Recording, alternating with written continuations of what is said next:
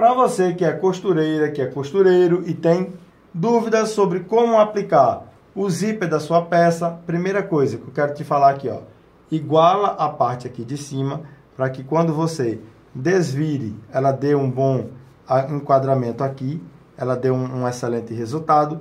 E aqui agora você vai costurar deixando a medida de um dedinho assim, ó, um dedinho. Passa aqui essa costura até a parte de baixo, você vai fechar a sua peça sempre com essa margem de um dedinho ali em cima.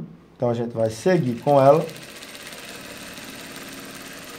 E aqui agora você vai finalizar. Após isso, você vai buscar um zíper, que é o zíper que você deseja trabalhar com ele na sua peça. E aqui, ó, onde ele concluir, você vai fazer um corte. Olha que dica legal. E agora, todo o trabalho que você vai ter é esse aqui, ó. Você vai abrir essa peça ao meio. Olha que bacana. Você vai abrir ao meio. E aqui você vai posicionar o zíper no meio da sua peça, meio a meio. E aqui você vai fazer uma costura. Então aqui eu venho costurando o meu zíper, abrindo aqui, ó, onde eu costurei ao meio, posicionando o zíper no meio. E aqui eu faço uma costura de um lado. Sigo aqui até a parte de baixo